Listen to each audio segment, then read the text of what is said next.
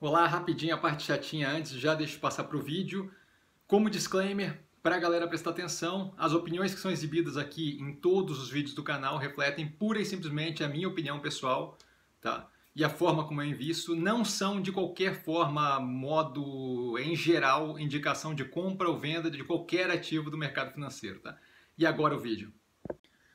Olá, Cassiano Bittencourt, pelo Visão Estrategista, hoje para fazer uma análise bem tranquila, bem rápida, de mais uma operação do setor de construção civil. A gente está matando várias aí, algumas já foram analisadas tempos atrás, tem que ter a renovação dessa análise. De qualquer forma, a gente tem aí a Direcional, tá? é uma empresa que opera ali é, nas faixas mais baixa e média baixa renda. Então, uma operação mais casada ali com a parte mais core, com a parte mais é, central ali da MRV, tá? atuação em grande parte do Brasil, a gente veio pelo mapa, Tá? A operação é bem padrão, como eu disse, mais uma operação de construção civil, sem grande nuance, sem grande necessidade de uma análise mais aprofundada. Um do diligence rápido, só para a gente ter uma noção de como é que estão as contas, lançamento, vendas.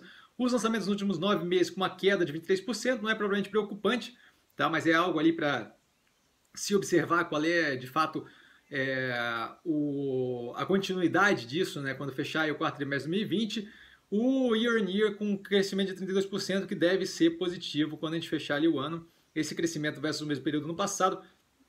As vendas com um crescimento de 41%, 22% quando eu falo nove meses, tá? É, evolução positiva, então algo que está de fato andando numa direção bem interessante, mesmo não tendo os lançamentos acompanhando quando eu falo de nove meses, é uma receita operacional líquida com crescimento de 2% year on year, bem estável, tá? Essa parte da operação o novo modelo ali que eles chamam é a direcional que opera em baixa renda e a Riva que opera em média baixa. Tá? O EBITDA ajustado com um crescimento de 22%, que é bem positivo, leva a margem para 19,7%, isso 22% year on year, né?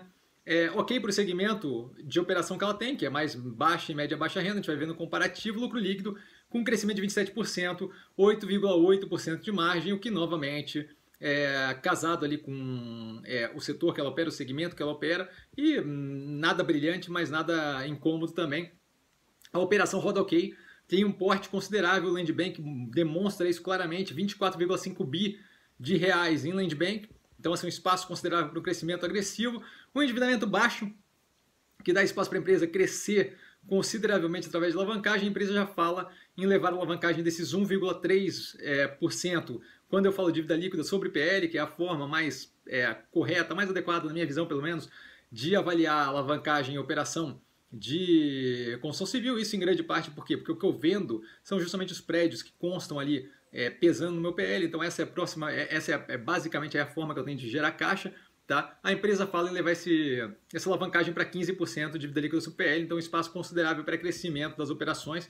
Tá? No comparativo a gente vê a precificação casada com outras operações é, do mesmo segmento, que eu vejo como mais interessantes, então especialmente ali a MRV, tá, que é do mesmo segmento, tem mais motores de crescimento, especialmente ao considerar o preço sobre lucro ali, como a gente, quando a gente olha aquele múltiplo ali, a gente vê que a MRV acaba ficando é, mais interessante nesse comparativo, o VCO da operação é mais baixo do comparativo como um todo de todas as operações que estão aí. Não preocupa, mas acho que não deixa de ser um ponto negativo da operação. Eu prefiro, para finalizar, né, MRV Especificamente nesse caso, tem um overlap grande, tem uma, é, uma atuação grande no mesmo segmentos ali, tá? Renda média, baixa média, é, como core ali da operação, como o central da operação, tá?